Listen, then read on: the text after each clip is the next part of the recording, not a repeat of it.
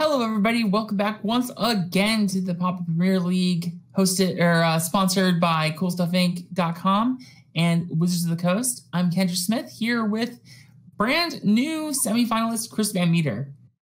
Chris, how, how you? Uh, I know Alex talked to you just a little bit, but how are you feeling? You just won uh, some pretty rough, you know, matches that yeah, you were like a little nervous about. I'm feeling very lucky. Uh, I I got lucky to beat Ricardo. Um, didn't go. He didn't even go to a third match, which is awesome. Mm-hmm. Uh, although I would have picked mono black, I think I would have been fine against either Boggles or his affinity deck with the mono black deck if our draws lined up.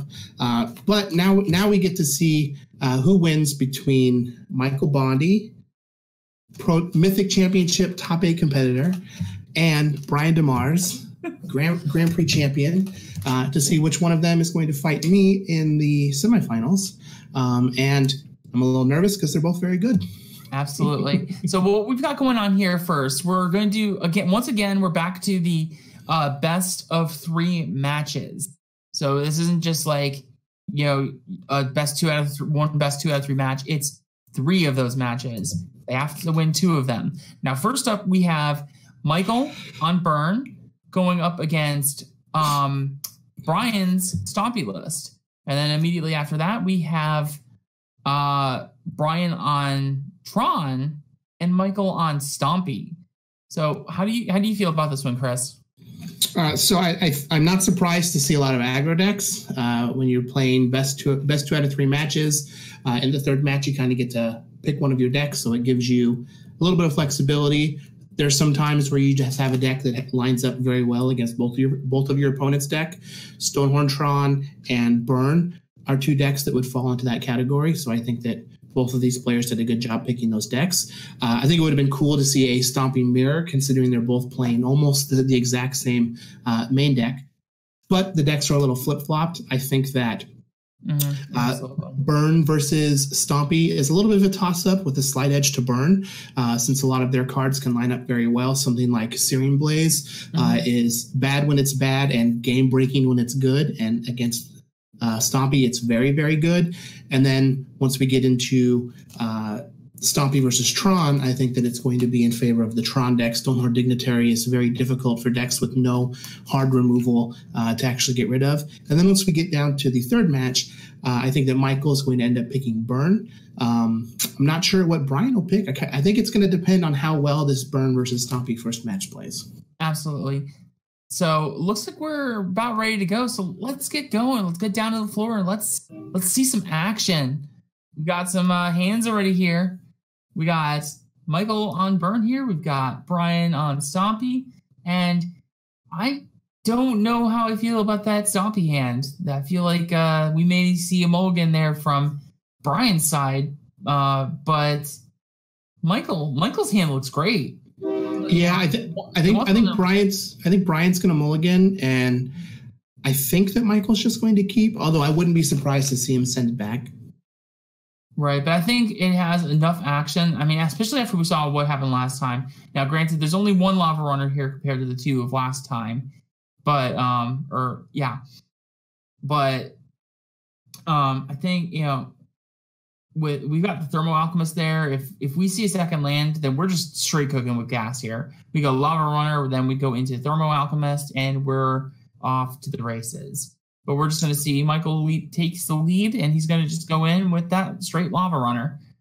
And, now, but one thing, one thing I do want to point out is these types of hands are the reason why I just play a flat 17 mountain in my burn list, mm-hmm. as opposed to the standard 15 mountain two forgotten cave, like what Michael is playing. If he draws a forgotten cave here on turn two, you know it's still not going to be the worst. But if it, if it's just a mountain, he's going to be miles ahead of the other option. Absolutely, and this hand looks really actually pretty good for uh, Brian here. Now we are going to see this like Vault Skirge that just dropped onto the board. It's going to go away pretty quickly here. We have the resources here from uh, Michael, but we we are going to see immediately after that is we're going to see Burning Tree Emissary into Burning Tree Emissary into Skarrgan Pit-Skulk. We might not even see the Skarrgan Pit-Skulk to be honest with you. Yeah, I really like this attack first because then it's going to allow Michael to utilize the skewer the critics to get rid of the Vault Skirge, mm-hmm. keeping his hand very, very lean in terms of mana cost. Absolutely. And Not drawing a land though is very very tough. So what? So I like the play of going Burning Tree Emissary into Burning Tree Emissary into Savage Swipe myself here. What do you think of that one, Chris? Yeah, I think it's way better than uh, playing the Pit Skulk. The only thing to consider is Savage Swipe is one of the few ways that the Stompy deck has to, has to interact with Thermo Alchemist. But Michael's already missed a couple land drops, and at this point, I think that he needs to just get that uh, Lava Runner off the board uh, and start pressuring his opponent. Absolutely. We do miss out on some of the uh, actual pumps from the Savage Swipe here, which is unfortunate. But uh, again, we're trying to play the pressure game here. And what we'll just see is next turn, those Burning Tree Emissaries are going to come right from Michael's life total. And then we're going to immediately follow it up with the Skarrgan Pit Skulk that's actually going to get the counter on it. And there it is. Savage Swipe takes out that Lava Runner. This is going to be a crucial turn for Michael. I think he needs to, he really needs to draw a mountain here to try and mm-hmm. Push this game. There it is. does. So, so now he's going to be able to land a, a thermo alchemist, and then depending on the rest of the texture of his hand, he can decide if he wants to go all face or just utilize the chip damage from thermo alchemist to try and further his game plan while Mhm. picking off the creatures on uh, Brian DeMars' side. It looks like he's just trying to get these creatures out of here.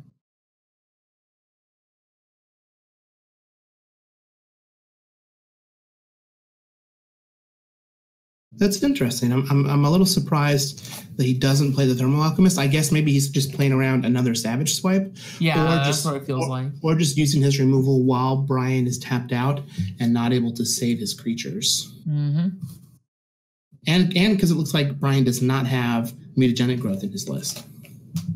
Yep. And it's another mountain. So we got the Thermo Alchemist coming down here. I think Michael's debating what he wants to do here. Looks like he's going to suspend this Rift Bolt. So Moldervine Cloak is going to be able to land on this Pit Skulk, but I don't know if four damage a turn is going to be enough to to, to race this. Uh, Brian just has to hope that Michael floods here, because if Michael starts to draw into any additional burn, his life total is going to drop very quickly. Yeah. And what we'll also see happen too is, um, you know, if Michael just draws Ghitu Lava Runners like crazy, they're not really going to do very much here. Because that Quirion Ranger can just uh, untap a, a Skarrgan Pit Skulk if the if any Lava Runner is trying to go through. So it's this is not going to happen. And right. four comes in hot here at Michael. T- turn one of five for how many attacks he needs to make with the four four. Yep. Five turn clock. Let's go. All right, well, this is going to be four. He has another four in his hand plus the one. So that's nine. He really just needs to draw one or two more spells. Something like Needle Drop would be a very Yeah, good draw needle drop. I really would hope to see. I think, and it may be a little ambitious, but needle drop into needle drop into fire blast. I think Needle Drop into Needle Drop into Fire Blast is probably lethal from here. I haven't done the math, but it seems like it's probably close. it's 100% lethal. No, we didn't find that, but we did find a curse of the Pierce Heart, which is not a bad draw here. Yeah, it's not bad. So Brian's turn is going to go to 12 and then 11. And so we have five.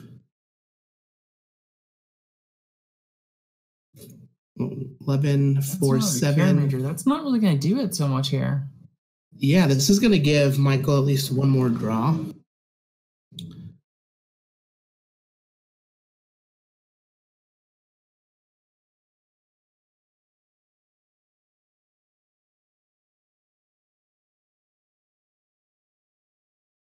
So is Fire Blast legal here? Lethal? No, it's not legal. It's off by one. hmm Well, actually, it will end up being lethal with the curse for next turn Yeah. because because he, he can deal 10.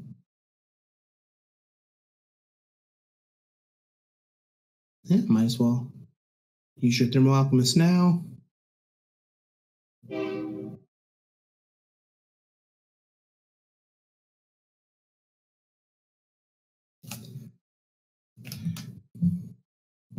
I really like doing this now so that he can cast Rift Riftbolt next turn if he draws it.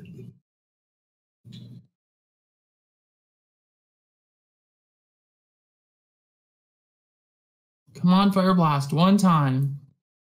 Fire Blaster, Needle Drop. Oop, Needle Drop. Ooh, needle That drop. turns that turns on all of the other burn spells.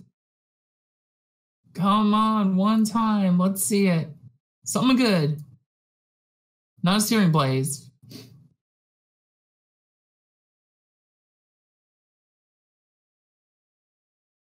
No. Oh no! So close. All right, well, we might as well suspend it. I think. Okay, uh, Brian DeMars, you have a turn. I think Bonde still has this though.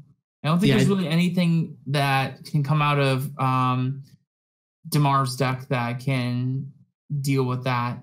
Yeah, there's like even if he has a way to kill the thermo alchemist, he's still just straight dead to the. Yep. Yep, that's it.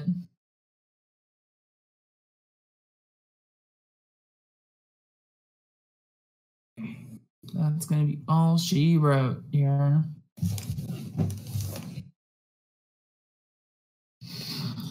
Man, thermo alchemist is a hell of a card. Sure is. And this curse really isn't that bad either. A lot of people, you know, give it some flack that, you know, oh, it's here, you know, it doesn't really do, do too much. But then if you get games that start to go long, it starts chipping in and it can actually do like four or five points of damage for just two mana, which is a huge deal. And so Michael's going to block here just because there's no reason not to. There isn't a card that can kill him, and even if the thermo alchemist happens to die, he still has lethal with uh, Rift Bolt that's on the stack. Yep, absolutely.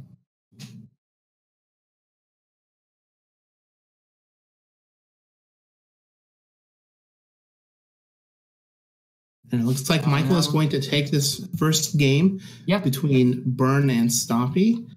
Uh, and I'm curious to see how they end up sideboarding. Brian with the troll on tap. Might as well.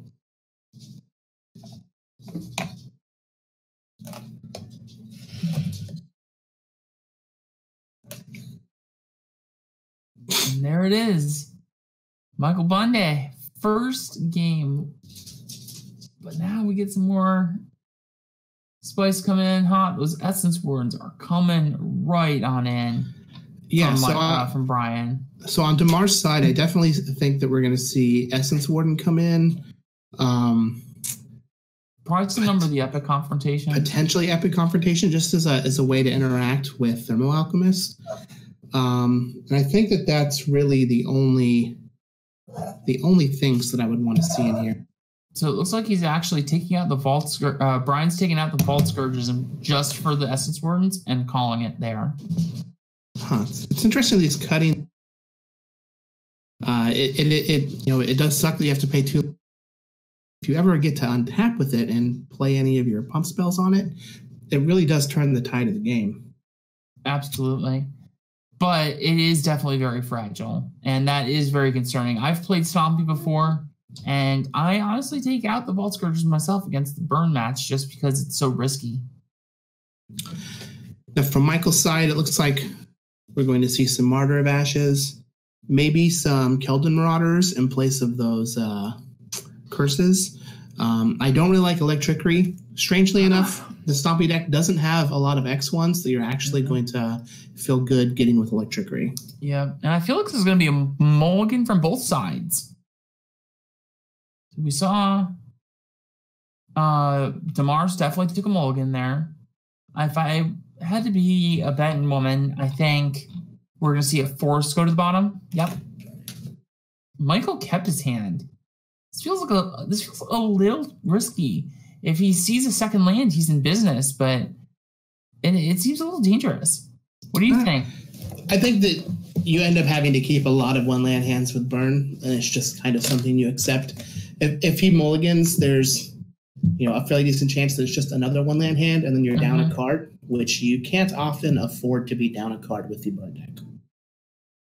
Yeah. And that Chain Lightning's gonna take out that Essence Word nice and fast, but without the uh downside of having lost two life in the process of casting it. Yeah, but that's not a bad spot to use the uh, mm-hmm. the burn spell on. Uh, Essence Warden has the potential to gain some life back, and you know your when your opponent has mulligan like Brian has, you definitely just want to try and whittle away at their resources since the the Stompy deck doesn't really have a card that can get them back when they're down resources. There isn't a lead the stampede. There isn't a Mulldrifter. There isn't a you know astrolabe type card that's going to allow them to chain things together. Right, right. And this wild mongrel is actually really good here. Be curious to see if Brian plays the forester, keeps it in his hand to try and pump his mongrel. Yeah, it looks like he's keeping it, which is probably what I would do here if I were in his shoes. But he does find the mountain, so are we going to see Thermo Alchemist come down? Or are we maybe going to see Keldon Marauders first? I think we're going to see Keldon Marauders. I think the Keldon Marauders is going to be able to do some damage. Um, and the idea would be to just kind of put it in front of the Wild Mongrel and make mm-hmm. Brian use some of his resources for it. What we're going to see here is these Savage Swipes are going to allow him to uh, remove the blocker and pressure Michael's life total at the same time, which is going to be very important. Right. So let's see what my uh let's see what Demar's draws. Oh, ooh, it's a Quirion Ranger. That's actually a pretty good draw here, especially uh alongside that uh wild mongrel there, because you can just start picking up your forest and just ditching them into the graveyard. Yeah, I, I wouldn't be surprised here to see Quirion Ranger come down just as the just to give him the ability to pick up forests for his wild mongrel. Absolutely.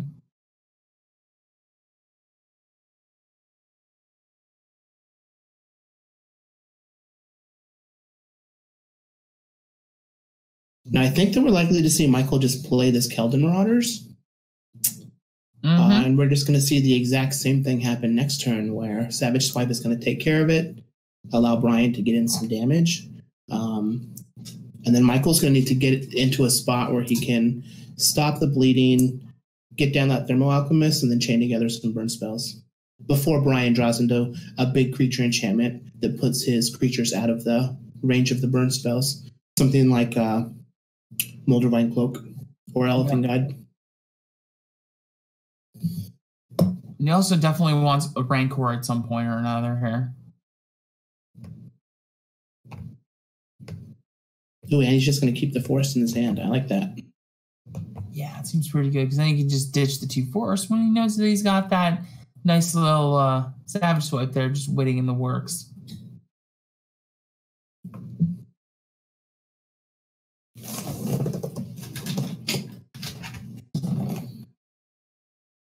We're definitely going to see that Savage Swipe. It's going to come in hard. It's going to come in fast. To another land for Brian. It's not not great. Uh, it's not. He is going to be able to get in for five this turn. I'm just going to put Michael down to 11. And then he's going to try it. He wants to get to a spot here where he can just kill with the mongrel by pitching his hand. Mm-hmm and we're we're definitely at the point as well. I think where I think the best draw that Brian really wants to see right now, uh, among other things, at least, is a Rancor. I wonder if he's going to play. Well, no, he doesn't. He actually doesn't have to play a forest here because he has mm-hmm. that Eldrazi spawn. So if he draws a three mana spell next turn, he can cast it.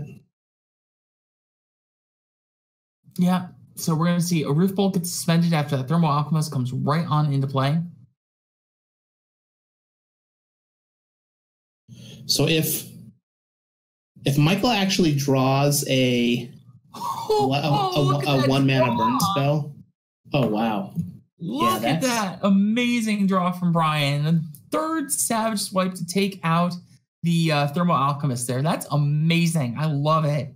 Yeah, that's, that was the best it. draw he could have. I think here what we might actually see is this rift bolt get pointed at the wild mongrel. So looks like he's just missing lethal. Yeah, it'd be off by two. Yeah. So I think we're going to see the Rift Bolt here pointed at the Wild Mongrel. Yeah, you pretty much have to. But what's gonna so what's gonna end up happening is that Michael's probably just gonna have to waste two burn spells on that Wild Mongrel, or else it's probably just gonna take away with the game at this point. Yeah.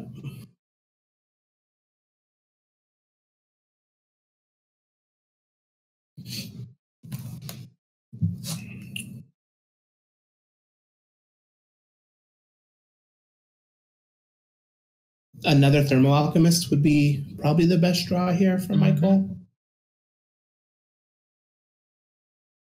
It's interesting that Brian played that other forest. But I guess he didn't really need it.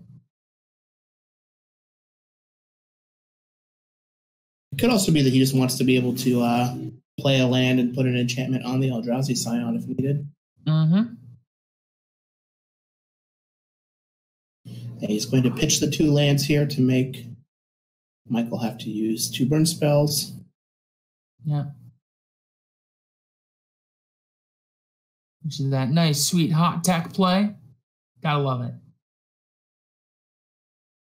For those of you who are a million years old, you may remember how relevant Wild Mongrel Change in Color was, as cards like Terror and Expunge were played quite a bit back in the Wild Mongrel I days. mean, and it's still even somewhat relevant today. Now you have um, uh, Doomblade gets played in a decent number of decks. Mhm. Uh, Prismatic Strands. It's a good way to get around Prismatic Strands as well.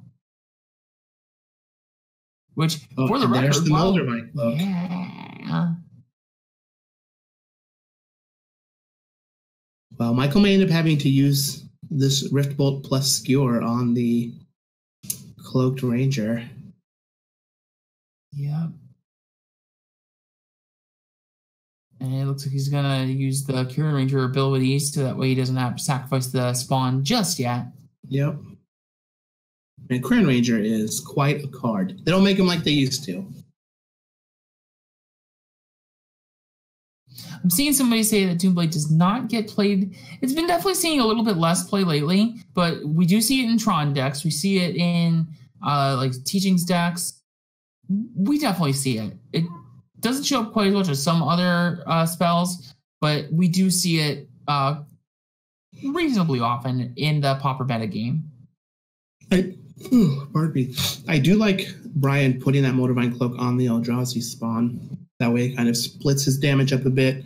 And even if Michael uses two burn spells to take care of it, he's still going to be on a two turn clock with that Quirion Ranger. Yep.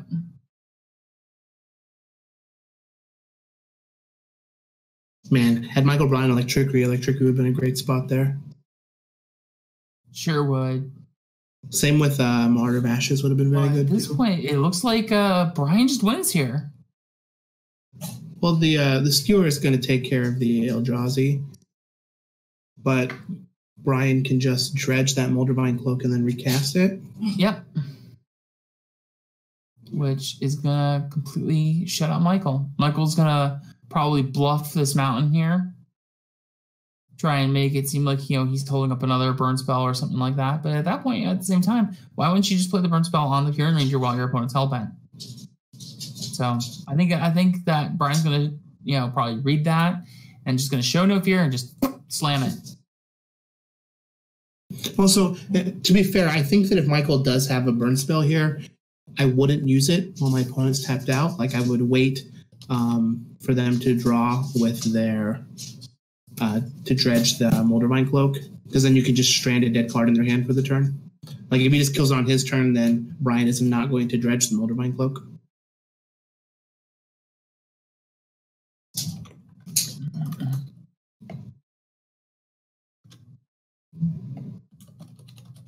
All right, yeah. So it looks like Brian DeMars is going to Moldervine cloak up the Quirion Ranger. Going to take the take game two from Michael, and we're going to see a game three here: Stompy versus Burn. Yeah, I'm Did really not think to that, did not think that was going to happen. However, uh, running, running, running Savage Swipes can do that sometime. Yeah, absolutely. And what we're going to see though is we're going to see uh, Michael's on the play. I think that's going to really impact this uh, game tremendously.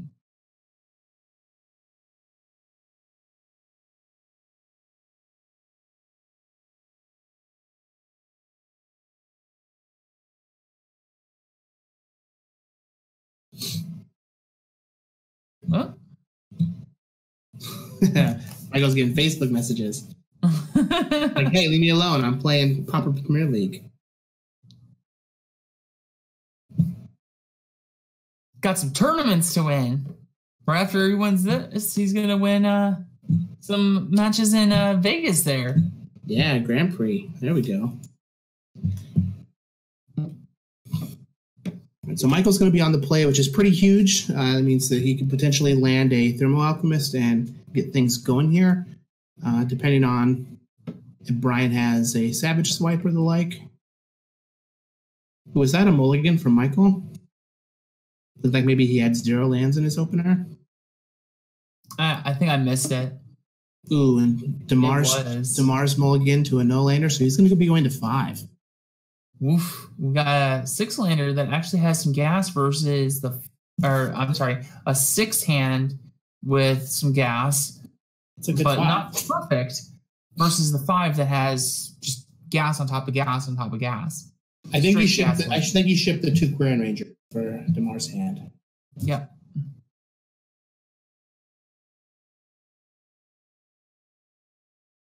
Just burning tree into wild mongrel is fantastic. It's a good clock.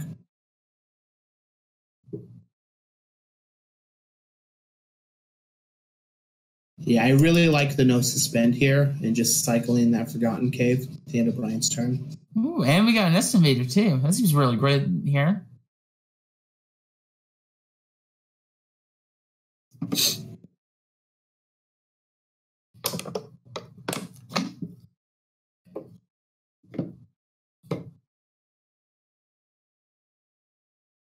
Let's see, cycling of that forgotten cave. I think Michael. Ooh, got the electric. That's not really going to do too much here. Sadly. But Marauders is going to get some damage through.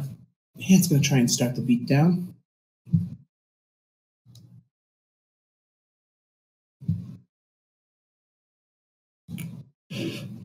So then, if you're Brian, do you go in for a burning tree into? Wow, there's another savage swipe too. Oof, So, I, hmm, I, th- I think that you have to. So it, here, here's here's the, the thought pattern. If you burning tree into another creature, I guess it just has to be wild mongrel. Then you can save it from a burn spell, yeah. and that lets you savage swipe the following turn. The other solution that I was thinking of is Nest Invader because you can just go, yeah, because then you can uh, use the token to block the Marauders.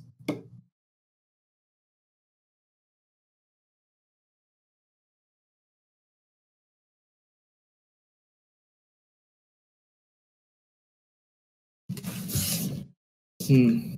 I wonder if we're going to see Electrickery take care of that token.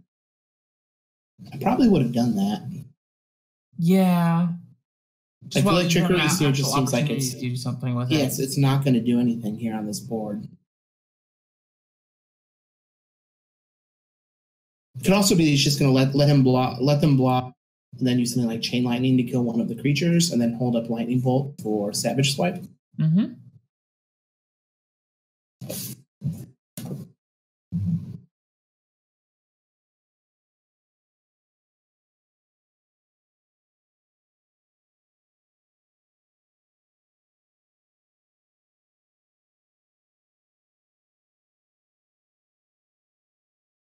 The other option from DeMars' side could be just to take the damage, and then you can use the the the Eldrazi along with the Forest to play Wild Mongrel Yep. uh, and Savage Swipe on your turn to further your board. But I don't know if it's worth taking three points of damage. Probably not. Right. Especially against a deck like Burn. And that Vines is definitely very good here.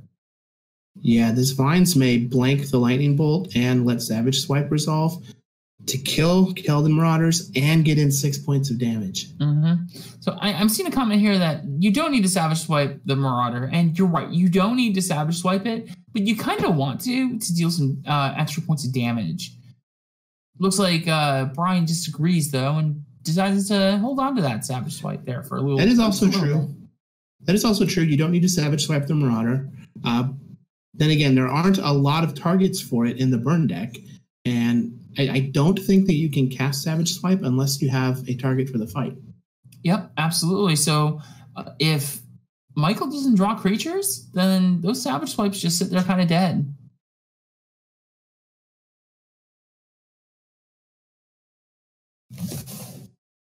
I wonder what. Although even if they even if they sit there uh, kind of dead, you know what they do? They fuel the wild mongrel.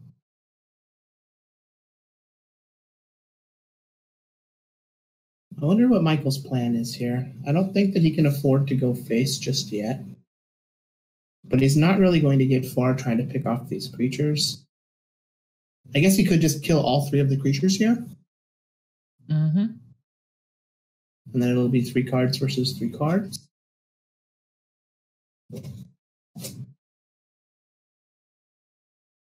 Man, I would be way more way more keen on going face here had we used the Electrickery to kill that Eldrazi spawn. Because then our opponent would be at 15. Yeah. And we'd be one, you know, one three one burn spell off. I guess he's just gonna go face here. Gonna risk it for the biscuit. Oh, there's another Marauders. It's not gonna work quite as well as I think Michael's hoping it will. Because Yeah, now there we will actually see the Savage Swipe this time. Yeah, this swipe is going to be quite savage. Man, yeah, getting in that damage. Because Michael didn't even use that mana, right? Yeah, that's a He, hunger. he says he suspended Rift Bolt and then left the mana.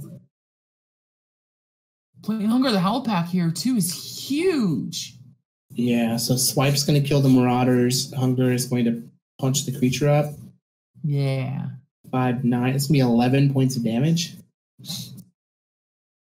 With the vines and waiting in the wings. Yeah. Man, I, I I feel like Brian has stolen this match. Absolutely.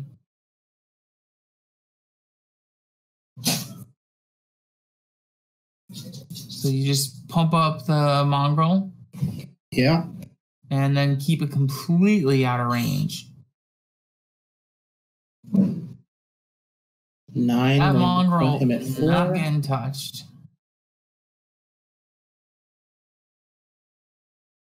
Nine, 10, 11. That's going to put Michael at five. Yep.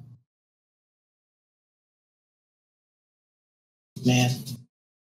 Yeah, had we had had Michael used the Electrickery to get it to get through three points of damage that turn, and then just went rift bolt face, bolt bolt face, he would have drawn the lightning bolt here and killed And there it is. killed his opponent. So that's going to be our first uh, match here. Goes to Brian DeMars. So now we're going to see. Uh, we're going to actually see uh, a switch out here. Chris is going to uh, switch out for Alex again, and we're going to see uh, Michael this time on Stompy himself, and we're to see Brian this time on Stonehorn Tron. And hold on to your butts, kids. This is going to be a long one. Probably. And I think that Stonehorn Tron is favored. But then again, I thought that Burn was favored here, and we saw Michael kind of capitalize on a Mhm. small misstep, or Brian capitalize on a small misstep from Michael and steal the match. Absolutely. So I'm really excited to see how this all goes. So hang on tight, everybody. Thank you, Chris. I can't wait to see you play next week. Can't wait to see what you bring. And uh, we'll see you then. So we'll be back here very shortly, everybody. Don't go anywhere. CoolStuffInc.com is your home for everything Magic the Gathering. Need singles for constructed or kitchen table play? Looking to pick up some sealed product or the latest in Magic accessories? We've got you covered with our extensive live inventory. With free shipping on orders of $100 or more, a 25% buy list bonus, and our ever popular customer rewards program, CoolStuffInc.com is the place for all your Magic the Gathering needs.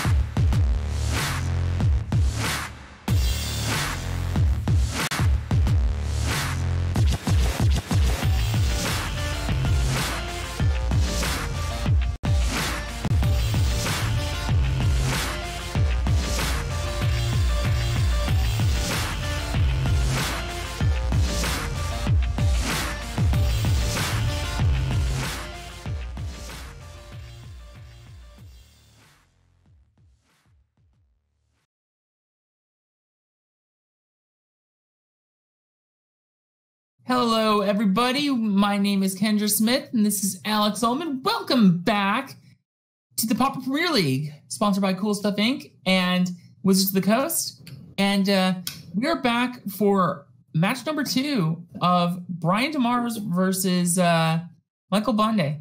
How do you feel, Alex? Uh, I mean, listen, I I I like Michael and I like Brian, but I I really think Brian has a significant advantage going into this game. Uh, mm-hmm. Michael's going to be on Stompy, the aggro deck that is, as someone pointed out in the chat, uh, has an absurd record in the Pauper Premiere League. Partially because um, every uh, it's been the most run deck. I think four different people have run it uh, well, rather, three different people have run it four times. Uh, but then we also have Brian on Stonehorn Tron or Flickertron, and Stonehorn Tron Fogtron is, is probably the deck. I, I, he, I don't think he's running any Moment's Peaces main. No, um, he's not.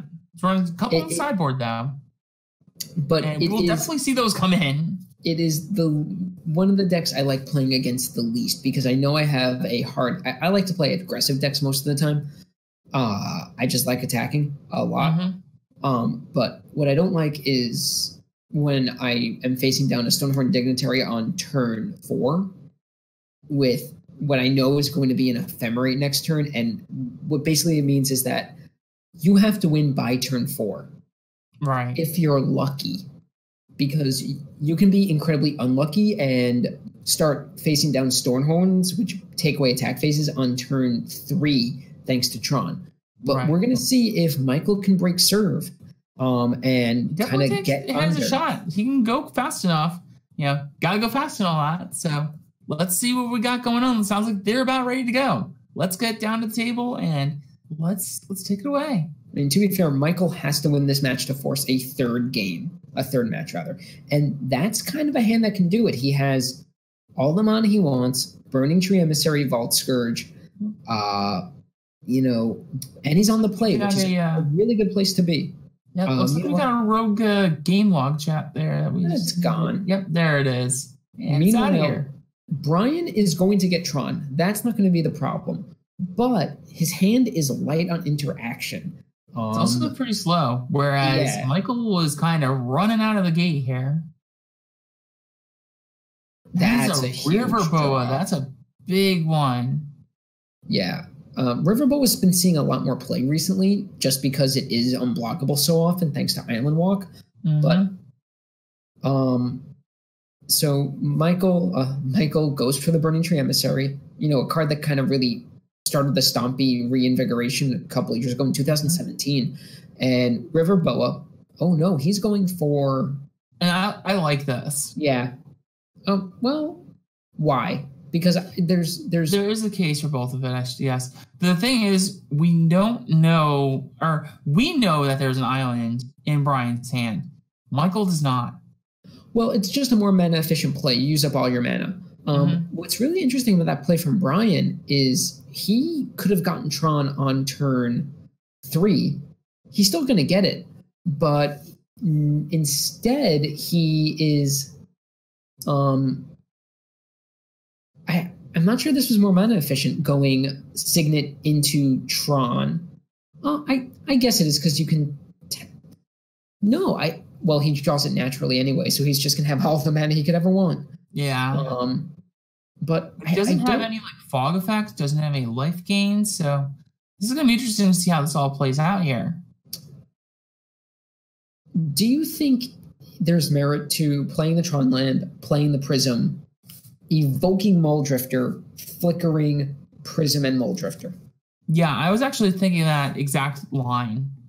And I think there's definitely some very strong merit there because you need to push this damage as quickly as possible. But at the same time, unbeknownst to Brian, that opens up uh, Michael to go Savage Swipe the Mulldrifter and then cast Hunger the Howlpack.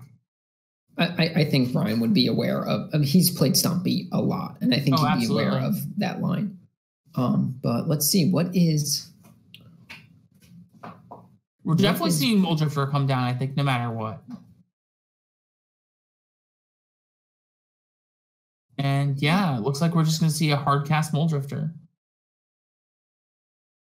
Oh, he's. He, I like what he's doing. He's uh, leaving up the white potentially for ephemerate this turn. Mm-hmm. But yeah, but I'm not sure. This sets up. Ooh, there's the Stonehorn Dignitary with Ghostly Flicker. So, what it comes down to is Michael kind of has this turn to get through as much damage as he can, but he's going to be able to get to through one, two, three, four, five, six, seven, uh, nine, twelve, and if he draws kind of anything, If he draws another hunger, he is in business. he is, but he kind of has to win here. Um, this is kind of his last window of opportunity before uh, things get a little uh, scary. Hunger, Rancor. Rancor does it. Hunger does it. Vines doesn't. Nope. Unfortunately. Um. Ah, there it is. Oh my God! He stole this game. I mean, this is exactly how you, this is how you draw it up, right? You Yeah. you just get your double hunger of the Howlpack because Stompy always has it anyway, and you know you're just attacking for a casual. What is it? Uh, tw- 15, 16 on turn three. I It's believe it's 15, yes. let's see, that's four. and I'm sure Brian, like the Brian, like, it's not a good day for people named Brian playing Tron because they have Yeah. just faced off against just such absurd draw. So let's see, that's five, nine, plus four, uh, five. That's exactly 14. Oh, 15 Mhm. damage. So we're going to game two, and things Yeah. are not going to get easier for for Brian, uh, for Michael rather. Brian, Michael's bringing in four copies of Gleeful Sabotage. Meanwhile, it looks like Brian is bringing in his Moment's Peace, um, cutting the one main deck Pyroblast. I Um, don't know how I feel about bringing in all four Gleeful Sabotages. I was going to ask. because I while it does definitely hit all a, a number of Brian's uh like colored mana sources, it also it doesn't take all of them out. There's still obviously like the snow covered lands in Brian's list, and um and you're also only ever really probably gonna hit one, maybe two. It's not the greatest. It's good for sure, but I think I would be more inclined to run maybe two of them if I was bringing them in, maybe three. But I think So- four is a little overkill.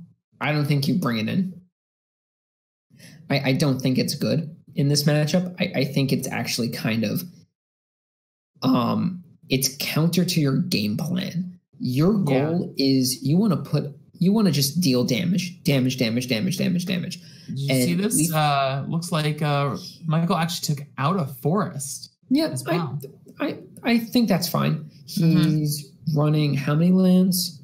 Um is he running 16 or 17? I'm looking at the deck list now. 16. Looks like he's running. Oh, so he's.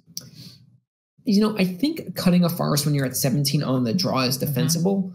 Going down to 15 on the draw, that's like there are that that's risky. yeah. This is not a hand that's going to do it though. Well, neither hand looks all that great, but I think um, if you're Brian, you're more likely to keep, and Michael just has to mulligan that into Yeah. a very good hand. That yeah, that hand is amazing for uh, Michael. Brian's Oh. isn't perfect, but it sets up some really good draws. But if you're Michael, what do you put on the bottom? It looks like he's looking at Forest. I think you actually put Gleeful Sabotage on the bottom, which I would. Oh, he put Forest on the bottom. Oh, That's interesting. You know what? You might have put Hunger of the Howlpack on the bottom, That's what I was actually thinking of putting on the bottom myself.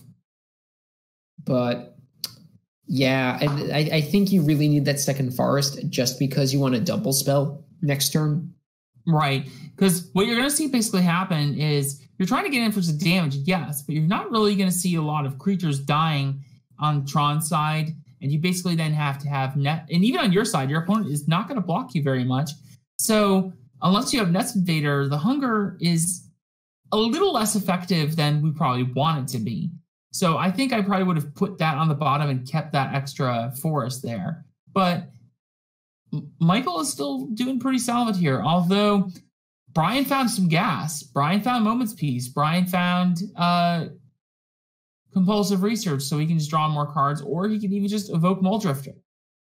Yeah, I, I think so. It looks like Michael's plan has been all about this uh, Nettle Sentinel. He's going in for four, um, and so now his play is uh, he has a chance to untap it next turn no matter what, whether that's with hunger to make it a five-two, Yeah. or naturally draw a land. Um, Brian has an interesting decision here. He's going to play a land, but do you leave up the mana to compulsive? Um, I don't think so. I think, uh, sorry, leave up the mana Moment's Peace, and I don't think so. You're not facing a ton of pressure. I think, um, yeah, tapping out for compulsive research makes sense here because if you get your third Tron piece, you untap into Ulamog's Crusher, and the game is basically over. Um, I don't think there's any merit to untap uh, to evoking Mulldrifter here Mm-hmm. because mm, look, I'm pretty sure Brian sided out his moments, uh, his Pulse of Murasa. Oh, And there it is. What just happened, Tron? Found a Tron piece. Okay, that's actually pretty important because now, yep, Michael can River Boa put Brian down to 12. Yeah. So now the question becomes: Do we see Crusher here, or do we see Mulldrifter evoked into a Ghostly Flicker? No, I, I think, I don't think you put Ulamog's Crusher in your deck to not play it on turn four. Right. But as someone who's played a lot of Turbo Ulamog's Crusher decks, it's not as good as you think it is against Stompy. Right. Um, Especially because we'll just see that Nest Invader come down, and then he just sacrifice the token, and then if Michael has a third land, then he can just hunger of the Howlpack. it's it's not even the token; it's Rancor. Yeah. You know, Annihilator One is a lot worse than Annihilator Two, um, and so now Brian doesn't know about Hunger of the Howlpack, um, and I'm not sure what you do here if you are Michael. I, I mean, a lot's going to depend on exactly how Brian plays this, but I think Brian is going to feel priced into casting this Crusher. I don't think he's going to feel a ton of pressure, um, Mhm. since he knows he can block the four power creature no matter what. But I think he's actually priced into not doing anything. I think the right play here is hold up Moment's Peace.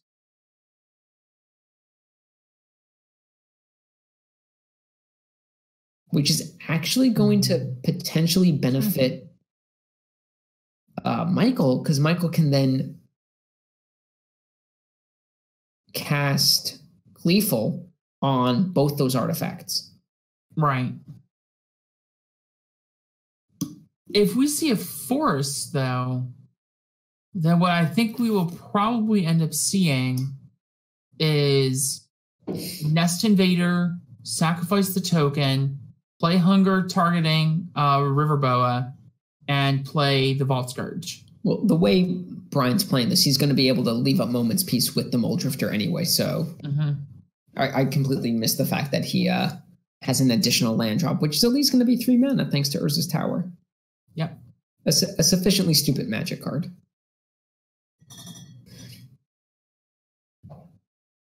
Ooh, that that was pretty good, but Brian is still missing, you know, any kind of uh, flicker, great flicker target to end the game. Drawing a ton of cards with Mulldrifter is great. Right.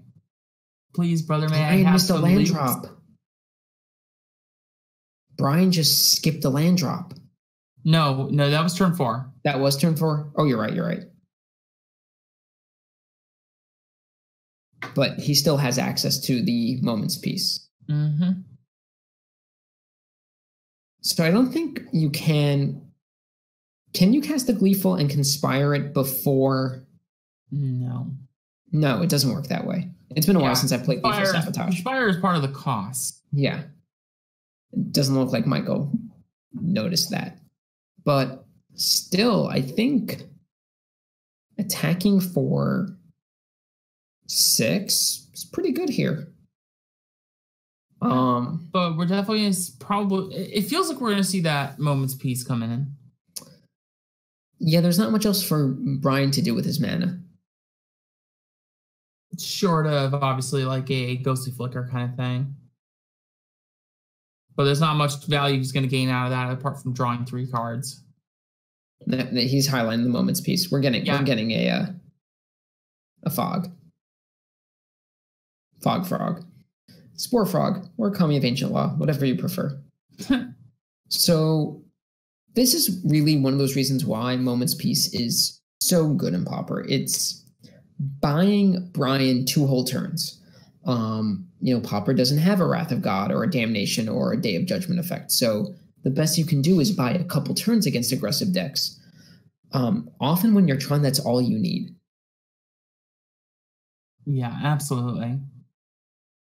And what does Brian draw? Look like an Urza's Mine. So I think you just I- I think here you slam Crusher. Yeah, at this point, absolutely. Yep, and Brian, Brian didn't put it in his sideboard not to cast Ulamog's. You know, Chris was talking about how he likes the Skyfisher Tron because it has a way to end games. Mhm. Well, you know what ends games? Ulamog's Eight eights, eight eights with Annihilator too. Of course, the uh, the other thing that we would see um, is uh, man, I, I'm blanking on now. I just had it. Um, compulsive research. So basically, the way that you loop it is you have uh, Stonehorn Dignitary, and you start flickering it. You make your opponents stop uh, passing through their uh, com- or make them pass through their combat steps Mm-hmm. and then you just uh ultimately get it to the point where you, you make them skip enough uh combat steps that you then instead of flickering uh the ghostly flicker for the stonehorn you flicker two mnemonic walls so that way you just get back impulsive research over and over and make your opponent draw their entire deck so that way they actually mill out You don't see a ton of that on Magic Online just because it is so click intensive, but it is absolutely something you can do. Um, and I've seen people end games in paper tournaments that way. Yep. I actually had someone try and do that to me at our local event. We actually have a very good, uh, very strong uh, Pauper community at Cool Stuff Inc. Uh, or Cool Stuff Games Maitland. Mhm. We and uh, we just had like a decent size. I think we had 20 people, 18, 20 people show up for our Saturday event this past weekend. And uh, I definitely had someone do that. They started looping compulsive research and then they tapped out, and I got them with harsh sustenance because they made me draw the harsh sustenance. So I, I really like this play from both sides. Um, Michael attacks with two river boas, trying to bait out the, uh, clearly trying to bait out the Moment's Peace. Mm-hmm. But he sets it up so that he can double spell uh, Nest Invader into Conspired Gleeful Sabotage in an attempt to choke Brian off of discrete mana. What uh, Michael doesn't know is that one, there's a ghostly flicker in hand, and two, there's a prophetic prism. So this this play was very sweet, but it's not going to end up being the uh, Yeah. backbreaker It that was, it was doomed to failure from the start. yeah. No matter what, uh, Brian's going to be able to cast fog on the optimal turn, Mm-hmm. And I don't think. I mean, the fact of the matter is though that Brian really needs to draw uh gas. There's the, there it is. there's Stonehorn. I mean, that's that's kind of Oh wow, did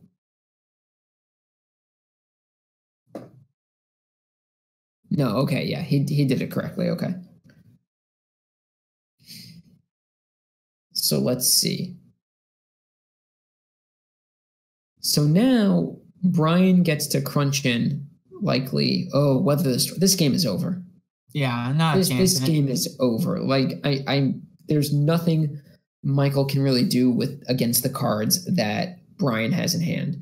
Brian can go up to an obscene amount of life, take away a combat step, fog the next attack. Um Yeah, it's only a matter of time at this point. Yeah, I, I think I, I don't know what number of cards out of Brian's hand it's going to take for Michael to concede. Um, but let's see. Michael Brian can go up quite a bit of life this turn. Um, and take away a combat step. Let's see.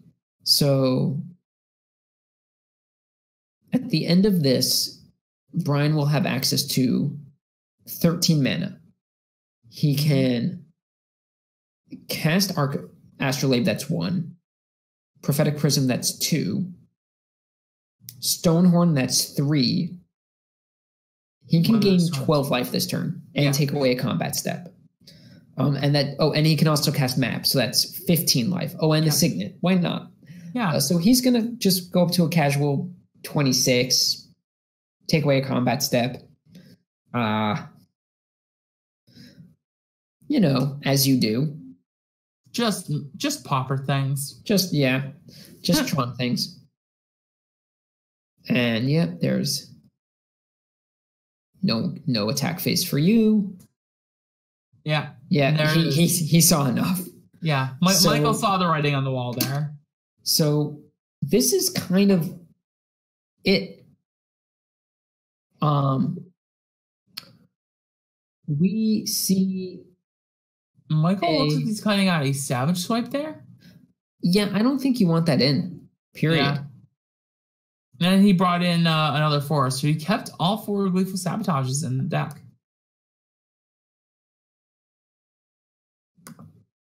One second.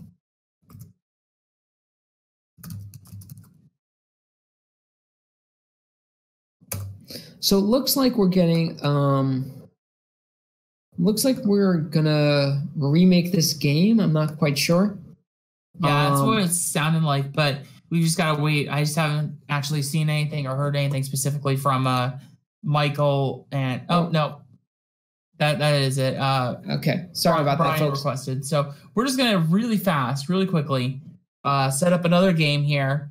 Just this is what we do just to help reset the clocks and make sure because we want to have untimed matches. Unfortunately, um, Magic Online kind of took away a little bit of that functionality and made it a little difficult for us to do that It's um, fine. like the way we used to. So, but yes, so we still have a way to do it. And you know what this way is? We just move on to uh we just start a new match and instantly have some, you know, concede game, concede game, and then we're in game three. So what are you what do you think um about Brian's chances on the draw? I think it definitely gets a little harder, but there's a few cards that you could definitely play. Um, there's a few things I noticed that were still in his sideboard. Did you see that there was still a Pulse of Murasa in his sideboard? That was his I- main deck. He sided it out. He sided it Yeah. out. And I don't know how I feel about that. You know, I feel like that life gain is can be very important. Um, I think the life gain is less important when you have all those copies of Moment's Peace and Weather the Storm.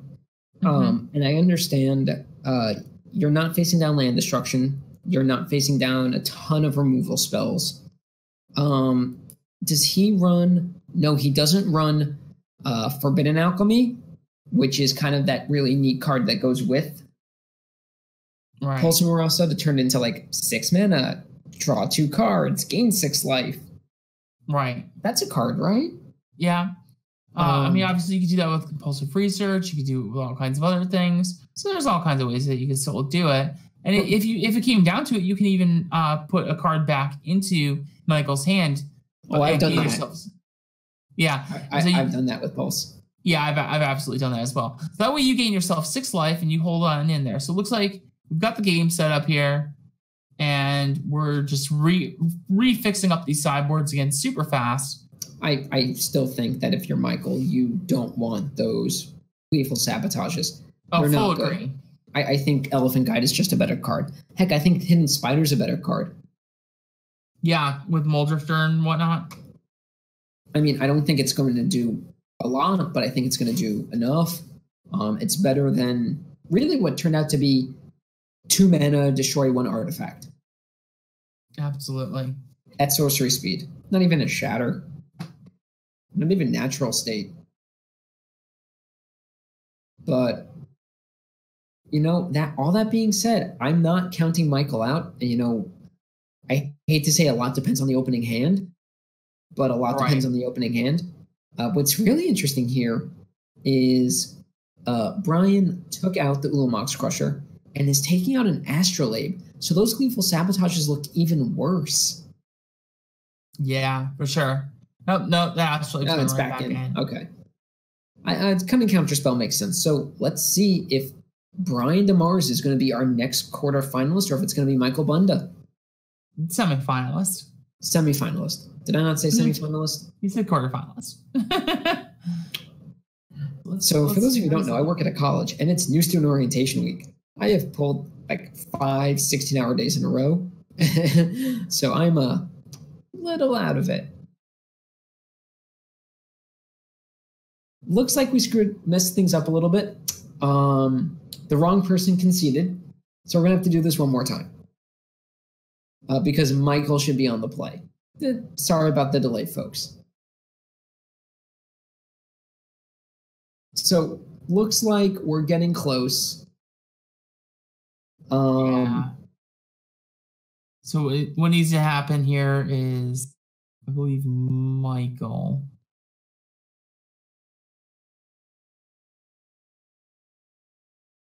So I think it's Michael that needs to actually be the one that scoops since uh, he's the one that lost this last one. yeah. We'll get this sorted out. Don't worry too much, folks.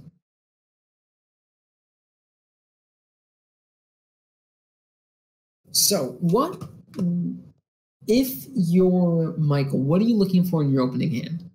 I mean, besides just all your pump spells, a creature. Hmm. I mean, I. You really want to win by turn four, right? Yeah, absolutely. You want to be as fast as you can. You want to get all your creatures. You ideally you want to see Nettle Sentinel into Burning Tree, Burning Tree, Burning Tree. Why and not all four? Kendra, why are why aren't you being greedy enough? Just you know, I'm being a realist, okay? I, I mean, I, I think you want Forest, Nettle Sentinel, Quirion Ranger, four copies of Burning Tree Emissary. Oh, 100%.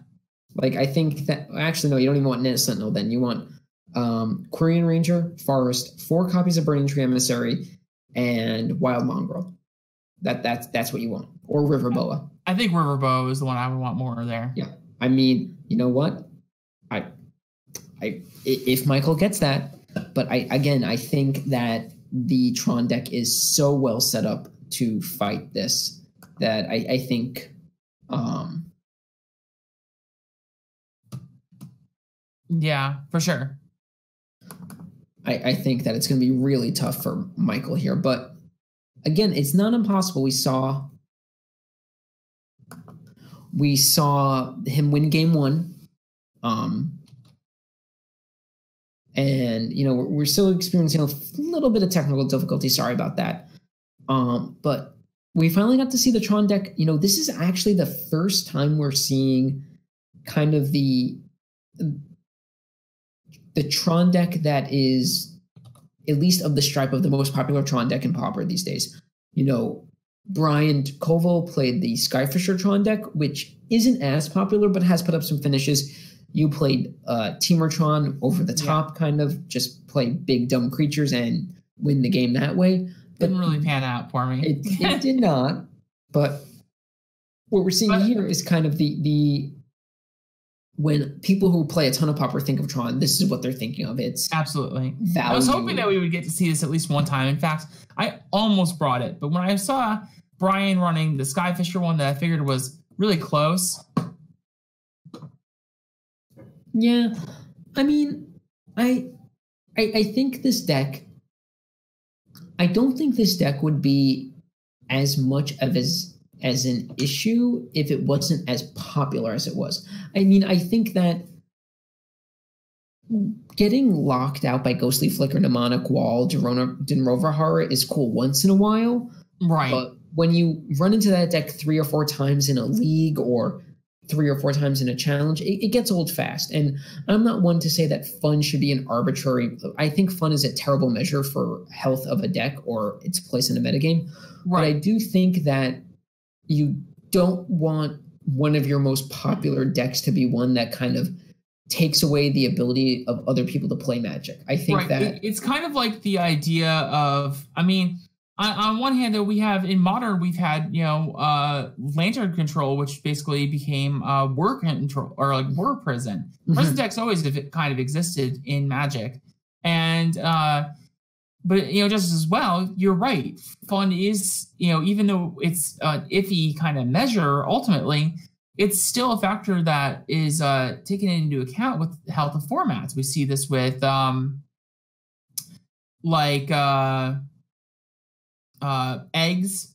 Eggs got kicked out of uh, modern pretty well. Uh, we saw Clan Ironworks combo for similar reasons, but there were a lot more reasons to why that got kind of get pushed but out. Looks so, like we're actually ready. So here we go. Both players have pretty awkward hands. Uh, Michael took a mulligan down to six cards, and his six looks awkward but keepable. I don't yeah. think you want to go to five. No, I would um, definitely keep that. Brian, on the other hand, it, it, I don't know if he's keeping seven, but he might be. Um, his seven actually doesn't look that bad. Uh, yeah. He's able to get a turn. Oh, but he's going to he's going to six, and his six looks like you have to keep it. Um, it yeah, has sure. Has two out of three pieces of Tron, has a Stonehorn Dignitary, um, has a redraw with the Prophetic Prism, but we're about to get down to what could be the last game of the night. Uh, we have Michael leading on Skarrgan Pit-Skulk, and let's see what's off the top for Brian. Brian draws Mnemonic Wall, so he's yeah. very close to having the combo symbol leads with Urza's Tower. We do have a Savage Swipe though, so if uh, Michael manages to find uh, what he what he needs. We could see some uh, damage coming through. Yeah, I, I, think there's some merit to just putting the Hunger of the Howlpack token up, uh, counter on immediately. And there it is, right there. Ephemerate. Um, that's pretty big game. But I think if you are, well, I was going to say if you're Michael, you just snap off this Gleeful right now. Mm-hmm. But oh, Rancor, okay things are getting interesting because and he's um, snapping it off. He's snapping it off. I, I think snapping off that gleeful sabotage. Let's go. So Michael is applying pressure, but he's not doing it in the chunk stomp he's used to. Mm-hmm. Meanwhile, Brian is still several turns away from establishing any kind of lock. Um, but yeah, he needs to get a blue mana here and that's kind of he's priced into it. Yeah. So he can't really do anything else this turn. Um, this is going to give Michael a window to do yep. something. I think Michael's but, ideal draw here is uh, Nest Invader. Yes. Nest Invader is big game. Um, no, it's a land. Oh, oh no need some kind of gas here, unfortunately. But I Savage Swipe isn't as good anymore because that Pit-Skulk doesn't have excuse me, doesn't have two power. Yeah. So he's going to be able to take out that dignitary, which is pretty important. It's very important, actually. Um, but that he can't fight a Mulldrifter. And right. I wonder if, yep, Brian's going for the value play of evoke Mulldrifter ephemerate, draw four cards. This is kind of showcasing the power of ephemerate. Um, you know, I wrote an article that went live on uh, Channel Fireball yesterday about what the landscape of the metagame looks like. And really, right mm-hmm. now, two of the top three macro archetypes are ephemerate lists um, Charles Jenkins, who's been on this broadcast before, uh, has talked about how Ephemerate's kind of this really big problem card. And there's Weather the Storm too. It, yeah, mm, Brian just drew everything. Yeah. Next turn, he's going to be able Tron's there to. too. Yeah, he's he has Tron. Um, so what it comes down to is Michael has this turn.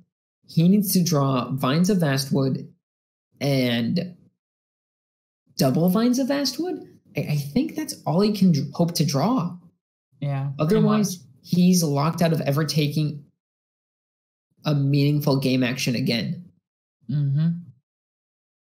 No. No, it that No. way. No. Oh, Michael. Not like this. I mean, it like did, I, I don't think it would have mattered. Um, I don't think so either. Uh, yes, I, Uh. I've seen people do that with Savage Swipes so often too. Punt. I mean, to be fair, I'd rather punt in this situation. I'm, I'm sure Michael's going to go back. and, Oh, what a punt! And then he's going to realize, oh, it didn't matter yeah. because really, um, next turn, um, Brian is going to have access to nine mana. He can cast Mnemonic Wall, get back Ephemerate. No, we can't. Did he do that on purpose?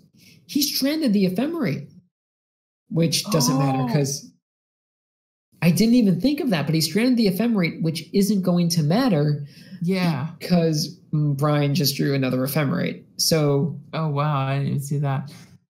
So what we might even just see though is we might actually just see Stonehorn, and then what uh, can ha- what Brian can do is then just ghostly flicker uh, at end step, and then get play mnemonic wall to get back ghostly flicker. No, what Brian can do is, and I hope I wonder if he sees this, is at the end of turn, ghostly flicker, uh, Stonehorn, and Yeah, I see what you're saying. Ephemerate, then untap, get Mhm. blank another attack phase.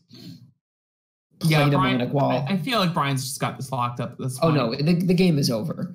Um, it's really a matter of because once the lock is assembled of ephemerate and mnemonic wall, there's nothing that uh, there's no game action that Michael can take. And I Yeah. think Michael didn't even have Viridian Longbow in his sideboard. So Right. So once we, I think once Brian, once we see the lock, yeah, once once we see all the pieces, I think Michael will probably just recognize, see the writing on the wall, and scoop it on up.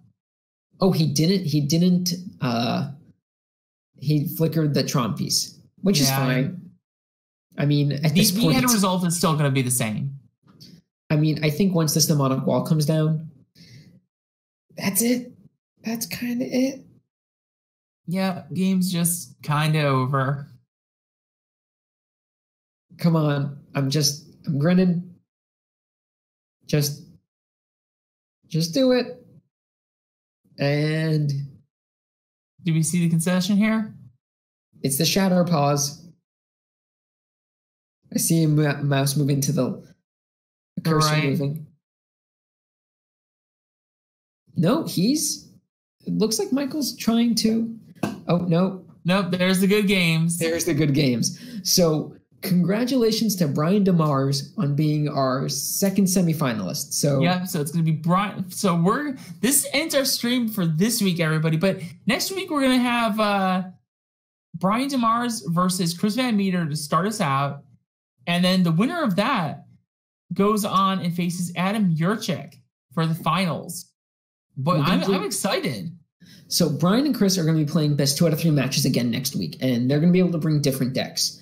Um, that being said, Brian, uh, he's 4 0 with Stompy. So, if he doesn't bring Stompy, I, I don't know what's going to happen. Chris, on the other hand, you know, Brian got here by going 1 2 with Mono Black and then kind of sweeping sweeping with Stompy.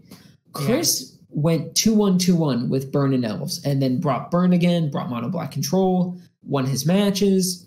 Um, so Brian, both these players have really wide ranges. Um, Chris plays more meta decks. Right. Well, Brian tends to play variants of meta decks. You know, he played Stonehorn Tron today, Flickertron. but he put his own twist on it. He Right, plays we saw that a little bit with twist. Stompy. I, I saw a lot more like Stompy cards for like, especially like the sideboard. A lot Yeah. of like sideboard choices were a little um off color, and then uh They were all green. well you you know what i mean. Um and even for mono black like if i recall correctly his mono black deck like was cutting like some sacred uh, you know killing some sacred cows there. You had like a Phyrexian rager was no longer in Yeah. the deck. And i was like that's really interesting. So we could definitely see like anything kind of come out of uh brian's angle here Yeah, it's going to be interesting. Um, Adam, on the other hand, is a player who's kind of always kind of gravitating towards what he considers to be the best deck. right Um, he played the Astro Jeskai in the first round, of, and what did he play the second time around? He played the Encore combo. He now, played I combo. actually had his little, you know, blurb why I chose this deck kind of thing. So what he did is he uh, basically said he actually just wanted to do something that was a little more uh, like off kilter, like off, you know, a little weirder, newer, you know, something that he could at least win like one match with, and hope to do, you know, a little more beyond that. And he chose Encore combo, and boy, howdy did it put in some work for him. Yeah, well, you know, I, I'm interested to see what Adam brings next week. You know, I've seen him play a lot of like Dimir Control. I've seen Yeah. him play a lot of Dimir Delver, which is in a deck right now. But you know what? We're about we're only a week away, and here's the thing. The format could be completely different next week because there's a banned and restricted list update on Monday. Right. Um, We don't. I- I, I- we- don't know. Uh, I've already expressed my thoughts on this. I'm not sure we're going to see any bannings. I don't think There's definitely will. a case for it, but it all comes down to Wizards' choices. What do you, What do you think on this, Alex? So in my article, I wrote that I don't think anything's going to be banned. I think that if there there are a few cards you can look at, I think Astrolabe's kind of that target. I think it does a lot of weird things to the format because it kind of lets blue decks specifically uh, not care about mana cost, uh, not necessarily in amount, but in style. So it can play red, it can play blue, it play, can play green. If it wants to, it can play black, it can play whatever because it just sees a ton of cards. Right. Um, at the same point, that card is still relatively new. It's not even three months old in the format yet. Um, the next most offensive cards to me are kind of like the Tron package because Mhm. um, it's not that they break the mana system as much as what it does with all that mana. If the decks were just like the Tron Arc deck or Teamer Tron, but it's the fact that they can turn this mana into a prison lock really Right. quickly. Um, I, I think that's problematic. At the same point, it's the third most popular archetype, not even really the second behind like Burning Tree, Emissary, aggressive decks. So I don't think there's really a case to ban anything. I know some people have said, oh, let's target Ephemerate. It's not a fun card, or it kind of creates these loops. I've seen some people talk about Weather the Storm right. um, is kind of this thing that is kind of another nail in the coffin for aggressive strategies.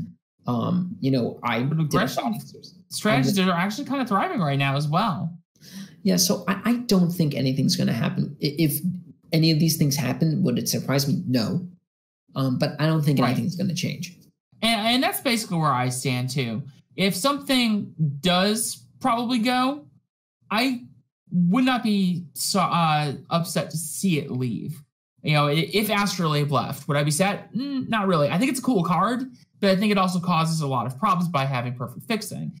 Ephemerate creates loops. Uh, we already had issues with Ghostly Flicker as being a strong potential ban contender. And what we ended up getting was now we have it at one mana. It's just a little slower, but that's fine. A lot of times you just want to do it once per turn. Would I be sad to see that go? Not quite. Um, and same with Weather Storm. I like Weather Storm. Helps my Elf matchup uh, against Burn a little bit Sure. more. But um, but it, you're right. It does still cause some problems for aggro matchups. So it's definitely there's a case for pretty much all of these. So, but I also think we're still kind of it, still a little too early out for Modern Horizons. I don't think this is anywhere close to like what we're seeing with Hogak in Modern right now. No, Um, well, so- I mean, no, but um, I, I- anywhere close. I, I want to congratulate our uh, semifinalists again, Chris Van Meter, and let, let's really talk about Brian for a second, who went one two in Barcelona Yeah, and has rattled off five straight wins. fantastic. He's crushing it. He he's really crushing it. He loves Pauper. Um, he's really showing it off right now, and I'm really excited to see next week. So So, So next actually, week- and, and in fact, actually, it was uh kind of funny when I was talking to him uh when he was gearing up for the Mythic Championship. He actually said he was a little more excited to play the league than he was the actual Mythic Championship. He's done plenty, you know, plenty of Mythic Championships or Pro Tours or whatever you want to call them now in his time. But this is something new, something really cool that he gets to show off this format that he absolutely loves. yeah, So- so, we'll have a chance to do this next week for the finals. I'm excited. I know you're can't wait. Um, once again, thank you to Cool Stuff Inc. for sponsoring this. Thank you again to Wizards of the Coast for helping to sponsor this event as well. If you visit coolstuffinc.com and use the code PPL5, you'll get 5% off your order. Um, but I think we are just done. Yeah, that's Uh, about it. I'm Alex Ullman. I'm That's Kendra Smith, the Maverick Girl. I can't point in the right direction. I'm terrible at this. and uh, we'll see you next week. Have a good night, everyone, and good luck to all the people playing in the Pauper Championship in Vegas and the Pauper MCQ this weekend on Magic Online. I will be playing in the MCQ myself this weekend, and I will be doing some coverage, writing some articles on it. You know, we'll see what happens, but I'm excited. I cannot wait. I'm so hyped. It's all on Magic Online. Obviously, uh, Magic Online, Wizards of the Coast, they're a big sponsor here. They're definitely putting a lot more time, a lot more effort into uh, pushing Pauper. And it sounds like this will not be the last No. Pauper MCQ. They're starting it, they're testing the waters, and I cannot wait. Have a good one, everybody.